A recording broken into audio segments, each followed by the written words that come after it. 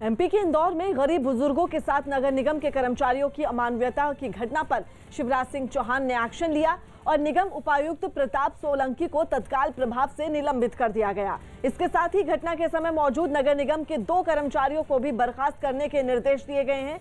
शिवराज सिंह चौहान ने कहा कि बुज़ुर्गों के प्रति अमानवीय व्यवहार किसी भी कीमत पर बर्दाश्त नहीं किया जा सकता। नगर निगम कर्मचारियों पर आरोप है कि उन्होंने बुज़ुर्गों को डंपर में भरकर शहर के बाहर छोड़ दिया था। शिवराज सिंह के एक्शन के बाद सभी बुज़ुर्गों को रैन बसेरों में भेज दिया गया है।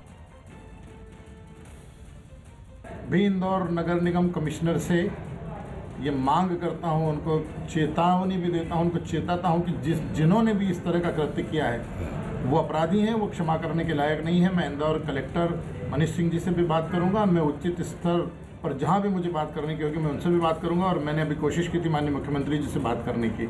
उनके संज्ञान में भी ये मामला में पहुँचा करके ये अमानवीय कृत्य है।